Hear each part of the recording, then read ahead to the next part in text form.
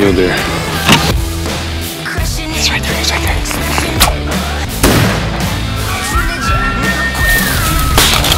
Big old 5 by 6 just what we want. First bull, baby. First bull. That's our first one together.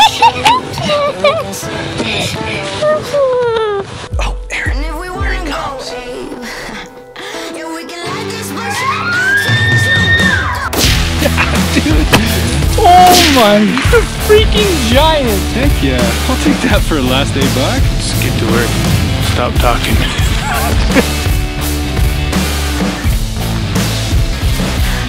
I love chasing elk, whether it's for myself or for someone else. And in this case, I'm helping my cousin Cam. He was chosen as an alternate on a limited entry elk hunt, so planning out this hunt was last minute. The thing is, I know this unit very well, and I knew I could help Cam get a bull. I'd taken a nice six point bull a few years back with my bow, and it chased a couple of studs, including one I named Winston that I knew was still alive. I've compiled incredible trail cam footage of Winston for years, but we just couldn't ever get him killed.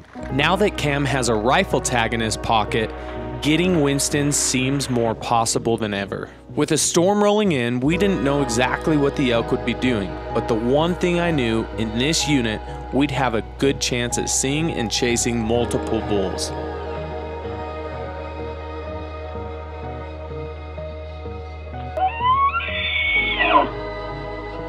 Okay, so you guys haven't had the chance of seeing Cam on film yet. But this is my cousin Cameron. He's gonna be at dental school the next four years. And he got lucky, got called as an alternate, and uh, Chug luck. It's the chug luck. And uh, so we're gonna try to get him a big bowl. We got up in elevation so that we can glass. Cam's gonna glass over here. I'm gonna go over here and glass. And we're gonna see what we can find this morning. And uh, I think if we don't spot anything here, I think we're gonna go back down the road and try to glass back and see what we can see over there on that north side of the road. So That first morning, I wanted to check up high and see if the elk were hanging around where I've seen them during archery season. There were a few places in particular that Winston loved to be, and I hoped that we might find him there. We quickly learned the elk were not up high anymore. All their food was gone. Since the year was so dry and we had hardly any rain in this drainage, the elk would have to be lower where there was some sort of feed. The new plan was to work our way down the mountain, getting lower and lower until we located elk. Well, so far the weather has sucked.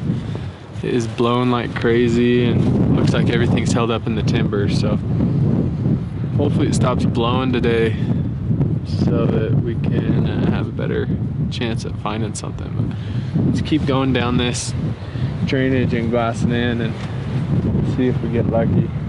We just ran into a local and he uh, said that the elk are down pretty far low, not because of the weather, but because of the drought. There's no feed for them up here.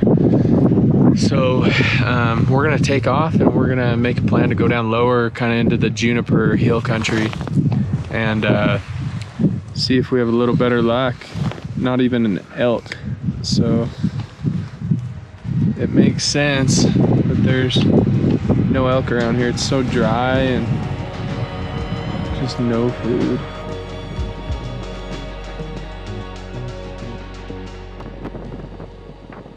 So we're assuming the elk are gonna be a little bit lower. So we're gonna hike up to this uh, thick juniper middle ridge and there's a few areas you can glass into. Um, see if we can't see a bull in this bowl. It's about to start raining. We've probably got a few good hours left at least. We realized that the elk were going to be way lower than expected. We got some intel from some locals saying the elk were coming into fields at night to eat and staying low in the hills. We also got additional information from Jaden that a big bull was hanging out in one of these fields, which we hoped was Winston. We didn't know exactly where, but the plan was to try and locate him and hopefully catch him going back into the Juniper Hills after a night of feeding. It's all gone. I mean, there's more feed up here than there is, but you can still just eat and all down, you know. We lost our glassing visibility, so we're gonna get back to the truck, go even lower, and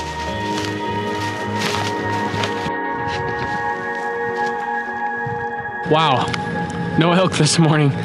Pretty slow. So there's no feed up there, it's dry. So we're guessing, and we ran into a couple locals, they said that the elk are lower. So anyway, we're gonna go even lower tonight and try to see if they're in these uh, low juniper rolling hills. So hopefully we can get her done tonight.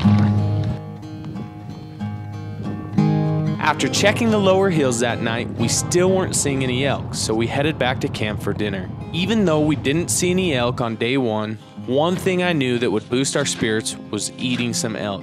I had prepared some back straps from my goofy bull that I had taken just a week earlier, and he ate well.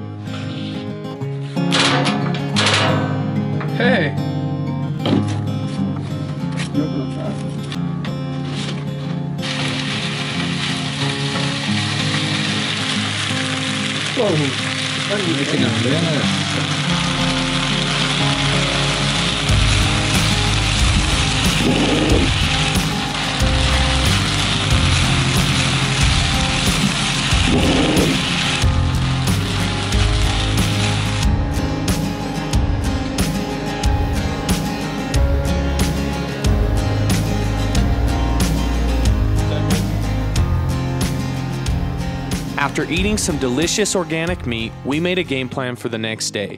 We knew some weather was rolling in, and we decided to continue scouring the lower country looking for Winston.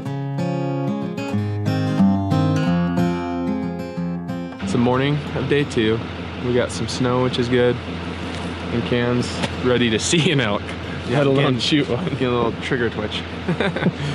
so yesterday was a little slow. We're hoping today's better. That next morning was completely opposite from the day before. We had gotten a little snow and it was cold. Hopefully, with this colder weather, we would have the elk on their feet and be able to spot something. Well, we're on our like plan D now. We still haven't even found an elk. It's the second morning. God, it should be really good. It's cold, no wind, skiff of snow. Still haven't been able to locate a bull, so it's a lot tougher than I anticipated it would be. We're in this big canyon and big juniper steep side hills. So hopefully there's a few elk in here.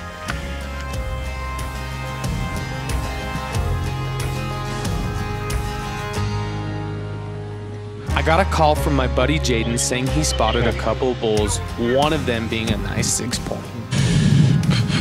I mean, we could climb up and get in position, or we can wait until we see them and then go from there too. Hard when you don't know where they're at. Look how thick that is up there. Even just to get to look at, dude, I don't even know if we can walk through that oak brush. I'm just thinking like if we were to take off right here, look how thick that oak is.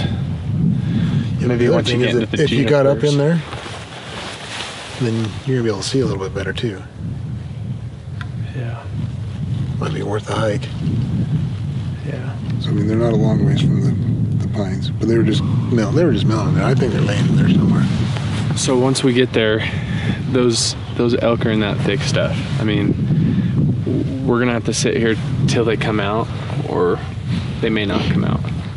So we're just gonna be, we're gonna be sitting, and it's gonna be cold, and so After talking it over, we decided to go in after these bulls. We didn't know exactly where they were or if they'd even still be there, but I wanted to get Cam a bull, let alone see one, so hiking in seemed like the right play for the rest of the afternoon and evening. Once we got in there, it was thick and it was cold. We glassed for those bulls for hours with no luck. Eventually, we started a fire because it was starting to get so dang cold. I would have thought something would have been moving in there for sure, but today just wasn't our lucky day. It's been so freaking windy and cold. And uh, we've been waiting this bull out. And he hasn't come out. Which means we've been just waiting. But we built a fire. And that's the only thing that's kept us out. The wind just barely died down. We only have about an hour of light left. So, it's hard to cross fingers with big old gloves, but crossing our fingers this bull comes out. So we sat by the fire, glassing until dark, with no luck. This was pretty discouraging because I thought for sure we'd see a bull in this thick oak brush. We gotta hand it to us again. I can't believe. Can't believe it. Can't believe we couldn't glass bull up here. Or yesterday. All day today. Wow. I don't know I've been this frustrated in hunting before. Only every time I deer hunt, I guess. Man. Nothing. We We sat on this hill and froze our butts off for like six hours. So we paid our dues, but we didn't get rewarded.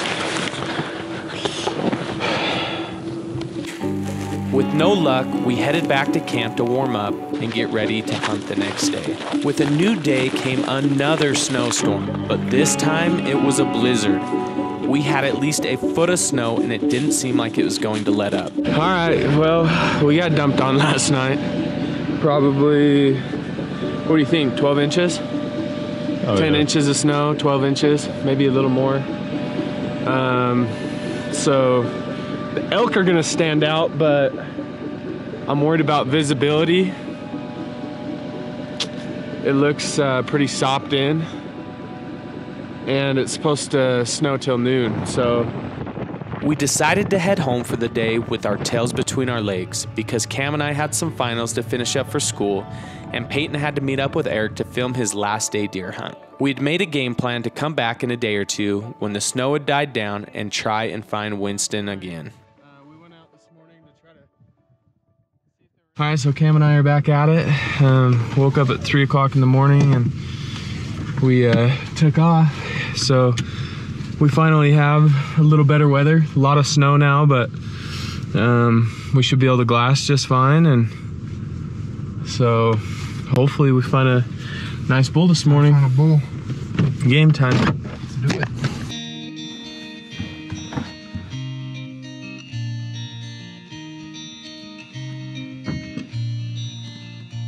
All right, well, the nice thing about today is you can see animals really well. Um, glassed up a, three or four deer so far today, but no bulls yet. Gosh, man, we're having a struggle trying to find these bulls. These deer are chest deep in snow. It's crazy. They're tough suckers. Keep looking. Um, we were driving and uh, I put the glass out and I spotted this nice bull. So Cam and I are just watching him. He's a good six point. Dude, that's a cool bull. He's a good bull. So we're gonna keep eyes on him, see what he does, and uh, see if we can make a play on him. Yes. Four. How many days did it take us? Two, three days. Three, three days to find a bull. So to find an elk, this is our first elk we've spotted. He keeps moving through this thick juniper and oak brush, so he's hard to. I haven't even been able to get the camera on him. So we're just gonna keep watching him and be patient here. We don't want to go make a move when we don't even know where he's at yet, or where he's going and what he's gonna do. But we found a bull, Bones. What'd you think of him? Decent. I'd have to get a closer look. It was hard to see in the scope to see where where he really was like. He's got a lot of character. It comes in. Okay, so there's a ridge in between Cameron and I and the bull. So Cam and I are gonna hike to that ridge and cut the distance basically in half. He's still gonna be too far to shoot, but the bull is coming down and we can always come down too. So he's gonna be about eight, nine hundred yards away and we'll get over there. But anyway, we're gonna get going.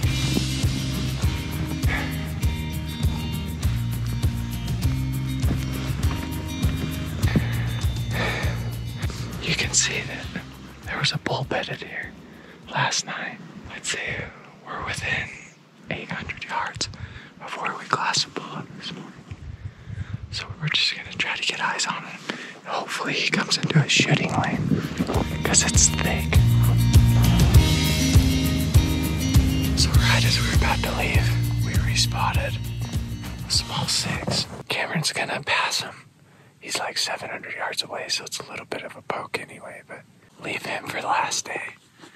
And we're gonna try to find this big bull tomorrow. Yeah, it's a last day bull.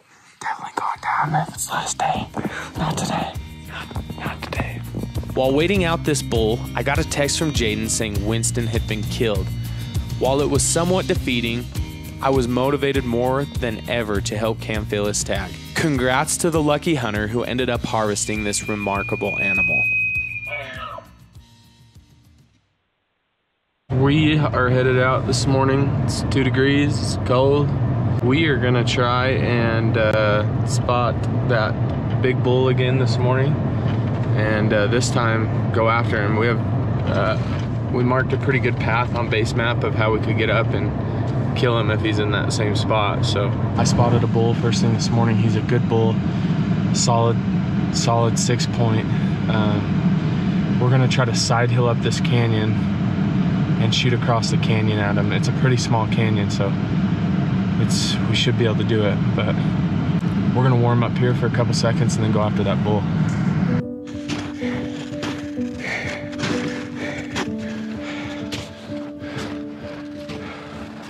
Okay, so we're trying to get to the opposite side hill of this bull. I don't know if he's still there, but I think it's our best chance if he is still there to shoot him. Snow sucks. It's so deep. And this side hill is so steep.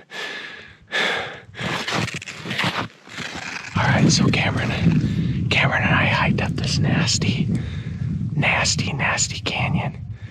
And uh, we got that bull that we that uh, we spotted this morning bedded. He's at 480. He's a crazy looking bull. His beam comes out of like his forehead, and uh, he's heavy, heavy. He's got like four on his one side, so he could be broken up. But regardless, he's a cool bull. He's super heavy.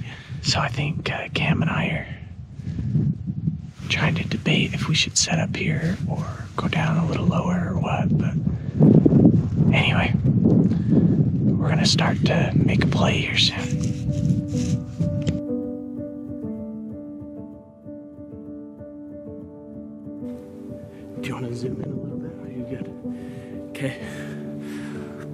Trigger when you're ready.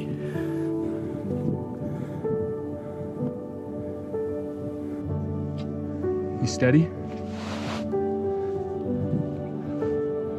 Four, 468. 468? 468.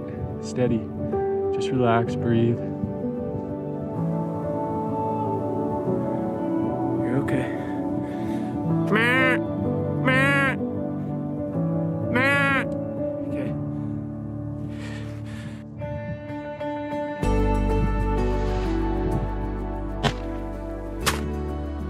Hit.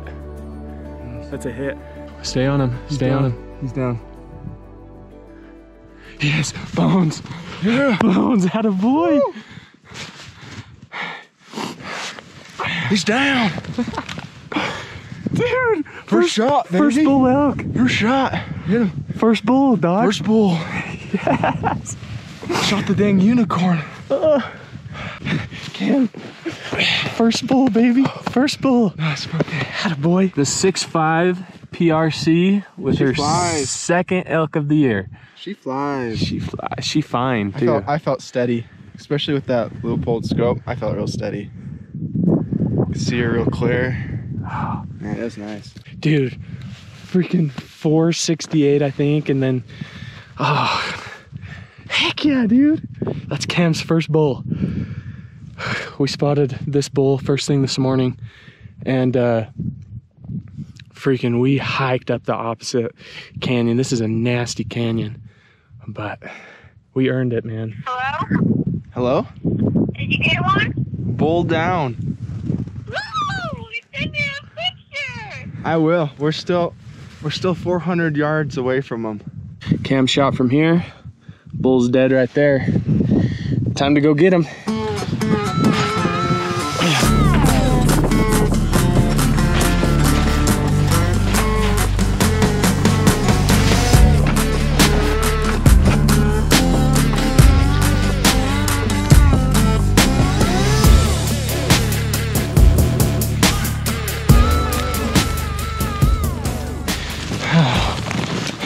Knee, look how big he Pretty cool looking bull.